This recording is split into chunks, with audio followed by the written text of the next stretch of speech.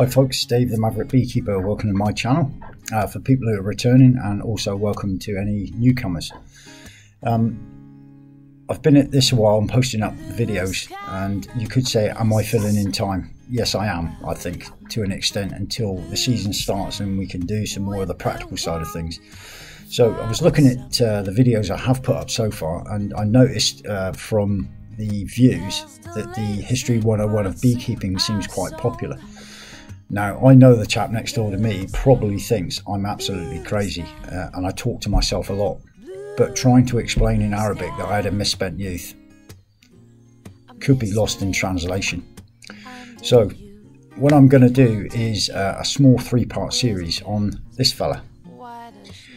Some of you among uh, some of you beekeepers will know who this is. Um, he is a pioneer in his field um, for the Scots amongst you, I'll give you another clue, and yes, there is a bit of a joke in this one.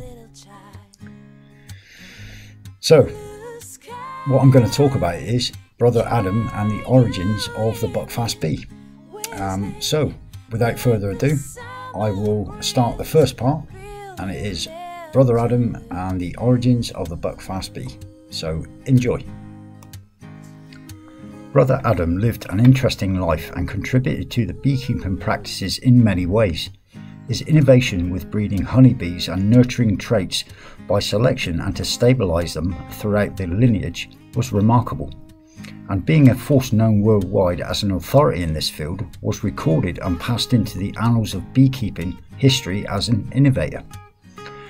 This tireless pursuit earned him recognition at the highest levels, attracting an OBE and two doctorates through the University of Uppsala in Sweden and Exeter University in Devon.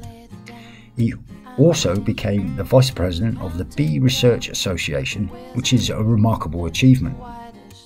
He was a driven and spirited individual, displayed great determination, which ref- reflected throughout his work with honeybees a young man from German descent, arrived at the tender age of 11 in the United Kingdom, leaving his family in his native country to become a monk. Having arrived at Buckfast Abbey, mainly occupied by the Benedictine order who were swore to silence, he was only permitted to speak French and English, and not his native tongue. This was a very alien environment to a young, impressionable lad. Originally named Carl at birth, the abbots renamed him Louis throughout all of his novice studies. Having completed these studies, his vows were taken and he was renamed Adam. The monastery had fallen into disrepair after its closure in 1539 by King Henry VIII, and Brother Adam's first task involved stonemasonry. He was tasked to help with the restoration of the abbey, and of course, this proved to be arduous, and with homesickness and ill health, he struggled but found the work rewarding.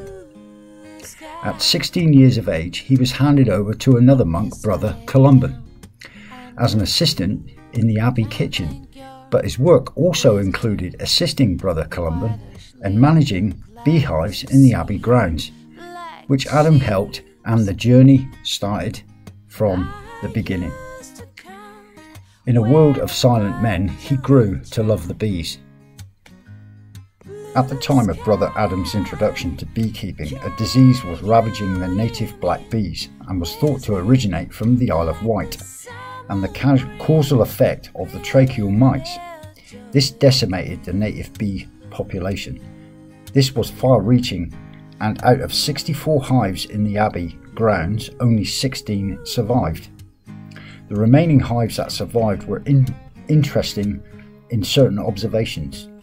Although not obvious at first, it was noted the bees were of a cross species, namely the black bee, Apis mellifera mellifera, and the Italian bees, Apis mellifera ligustica, the leather coloured bee from Italy. The bees were an asset to the abbey as it was a self-sustaining work to produce beeswax and of course honey. The local species had suffered a heavy blow and of course the only way to deal with the rebuild was to import foreign queens. So the work began and the results were remarkable.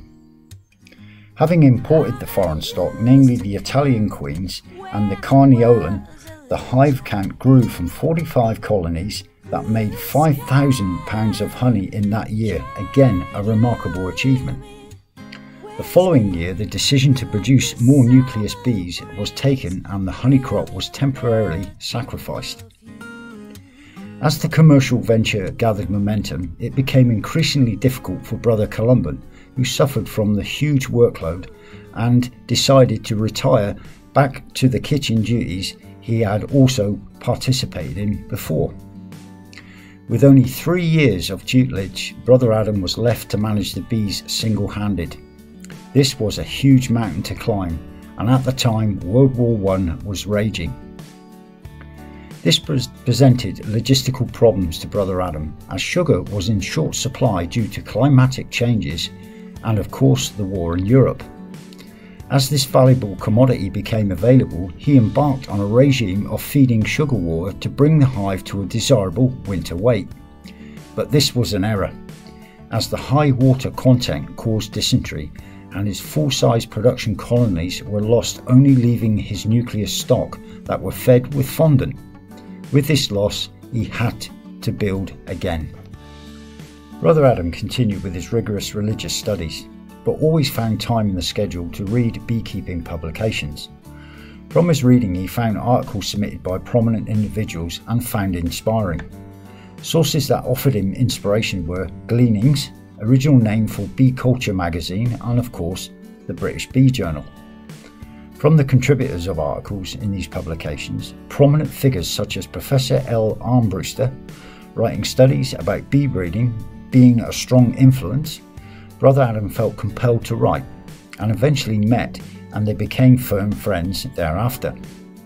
Two further authorities became a source of valuable information were Samuel Simmins and F.W. Slade, and their work and breeding programs with the White Star line of Carniolans and the Cyprian stock. Brother Adams' work followed a scientific approach with divisions of colonies into specific groups, experimenting with new ideas and keeping control groups as comparison. So began his lifelong bee breeding ventures. As his enterprise grew, it became apparent that standardization was the key to better management, and he knew that the differences in equipment in the Abbey grounds made things difficult and overcomplicated. The Burgess perfection was in a common use across the United Kingdom, but did not stand up to the prolific Ligurian queens. The decision to use double brood boxes on one colony proved to be very productive, with six supers of honey being produced more than any of his other colonies put together. Other beekeepers were utilising 10 frame Langstroth hives, but Adam regarded them as too small. From further study of the Gleaning Journal, a hypothesis came forth. He mused that the Dadant hives held 12 frames and measured 20 by 20 by 12, which gave him the capacity of 2,050 square inches. Perfect. This would ensure minimum brood box manipulation and the need to adjust brood feeding and retain a large workforce, and as the Langstroth have conceived of before, the bee space. In 1924, Brother Adam struck success with a newly modified Dadant, enjoying a surplus of honey being more than 335 pounds of surplus with each hive compared to the British standard 224 pounds. Hmm, he was onto something there. That completes the first part of uh, Brother Adam and the origins of the Buckfast bees. As you can see from uh, the opening screen, I've dedicated this to my friend uh, Lee Starkey, who's a former Royal Marine and who I served with for a short period of time. And um, unfortunately, he wasn't lost in conflict, he was lost to the conflict with cancer. Um, and as we know, there's no vaccine, unlike COVID, as sad as it is, um, a vaccine to, to deal with this. Just the determination to survive and the help of family and friends around you.